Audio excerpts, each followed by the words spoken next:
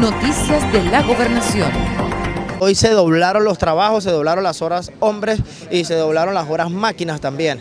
De, hecho, este, vamos a cumplir los objetivos, la meta de reabrir el paso. En el momento se llegó el, material de relleno al sitio donde debería estar. Fueron 128 metros cúbicos aproximadamente, fueron 150 camiones de relleno que fueron eh, yendo a, la zona de carga y descarga al sector donde hubo el, desplazamiento del, material.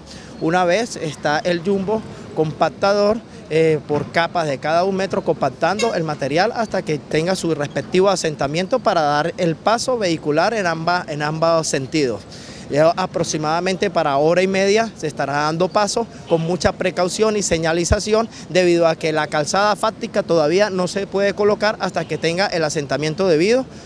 la vía y bueno, va a quedar en, granzón tierra, pues sin, el asfaltado.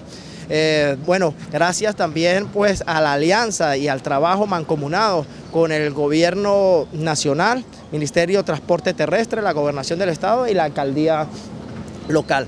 Nosotros pues eh, cumplimos con los objetivos, las metas, aunque el tiempo todavía no es muy bueno, las condiciones meteorológicas afrontan lluvias en la noche, pero se han tomado ya las diferentes precauciones, tenemos 150 eh, personal, hombres pues desplegados en el área de defensa civil, policía, guardia nacional, y todos los organismos de seguridad con, haciendo el llamado de atención, el llamado a la precaución y el, el, tránsito por la zona con mucha precaución y a, velocidades bajas. Se aperturará para todo tipo de transporte y bueno, el tránsito va a ser lento, pero mm, van a tener pues menos de horas tránsito, por, por ya no se van a usar, bueno, todavía se le dice que sigan con las, con las rutas alternas, ¿no? pero ya sea apertura del paso y pueden pasar por aquí normalmente, pero un poco más despacio y con mucha precaución.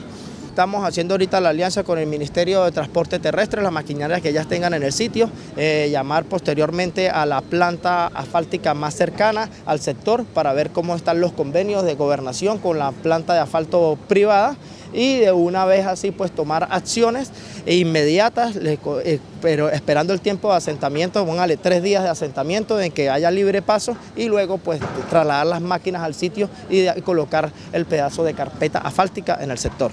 Noticias de la Gobernación.